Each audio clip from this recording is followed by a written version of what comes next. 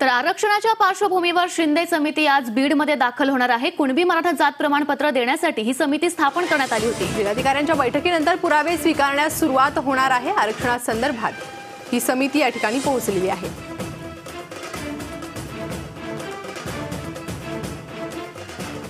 आणि या संदर्भात या संदर्भात आपण अधिक अपडेट घेऊयात. आपले प्रतिनिधी संजय वरकड हे आपल्यासोबत जोडले गेले आहे.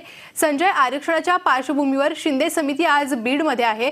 काय अधिक तपशील या संदर्भातले?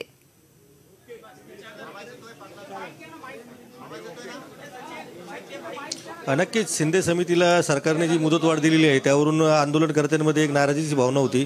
आणि प्रत्यक्षामध्ये शिंदे समितीचं कामही अजून सुरू आहे यावरून सिद्ध होतं की शिंदे समिती आज बीडमध्ये दाखल झाली.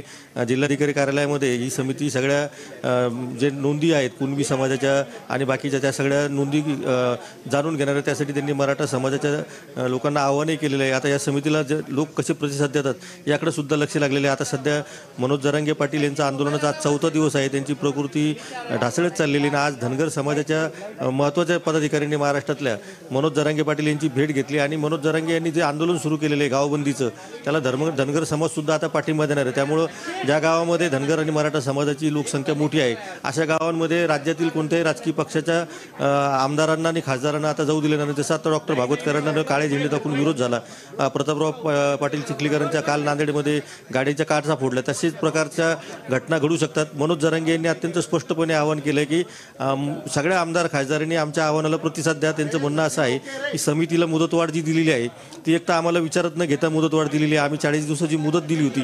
ती मुदत संपलेली असताना जालना जिल्ह्याच्या लगतच असलेल्या बीड जिल्ह्यामध्ये म्हणजे इथून काही साठ किलोमीटर अंतरावर जिथं आंदोलन सुरू आहे तिथं ही समिती येते आणि आंदोलनकर्त्यांना काहीच माहिती नाही आहे तर ही एक सुद्धा आंदोलनकर्त्यांना कुठल्या तरी पद्धतीने गृहीत धरण्याचं जे काम सरकार करत आहे त्याविषयी सुद्धा मनोज जरांगे पाटील यांनी नाराजी व्यक्त केलेली आहे. त्यामुळं हा प्रश्न प्रश्न आता चिघळत जाईल अशी शक्यता आहे. शांततेने लोकांना जरी आवाहन केलेलं असलं गावात येऊ नका तरी मनोज जरांगे पाटील यांचं स्पष्ट म्हणणं आहे की आपल्याला मुंबईमध्ये जायचं आहे मंत्रालयात जायचं आहे मराठा आरक्षणाचा प्रश्न.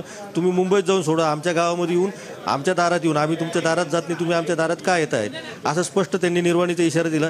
त्यातच आता मराठा समाजाला धनगर समाजांनी सुद्धा गावबंदीचा पाठिंबा दिलेला आहे. त्यामुळं इथून पुढच्या काळामध्ये मनोज जरांगे पाटलांच्या प्रकृतीकडं त्यांच्या आंदोलनाकडं सरकारनं प्राधान्यानं पाहण्याची गरज आहे. आणि त्या त्या त्याकडे जर दुर्लक्ष झालं तर महाराष्ट्रामध्ये गुंदी होऊ शकते असं सध्याचं चित्र आहे. अगदी. संजय आपण जर बघितलं तर नेत्यांना ठिकठिकाणी विरोध होत आहे आणि अशातच शिंदे समितीला देखील काही ठिकाणी विरोध करण्यात आलाय. बीडमध्ये शिंदे समिती आली त्यांना देखील हा विरोध पाहावा लागलाय का?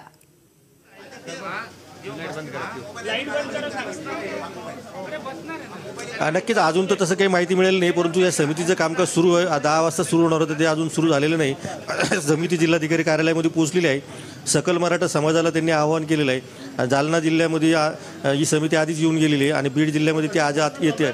त्यामुळं बीड जिल्ह्यामध्ये कशा पद्धतीचा प्रतिसाद मिळतो हे आपल्याला बघावं लागेल. परंतु एकूणच जी सरकारची कामकाजाची पद्धत आहे समिती जर महाराष्ट्रभर दौरा करणार असेल तर आंदोलनकर्त्यांना विशेषतः मराठा समाजाच्या पदाधिकाऱ्यांना जर माहितीच नाही की बीडमध्ये ही समिती येत आहे तर ती सगळ्यात मोठी खटकणारी गोष्ट आंदोलनकर्ते नाही. त्यामुळे आंदोलनकर्ते काय पवित्र घेतात हे बघणं आता महत्त्वाचं आहे.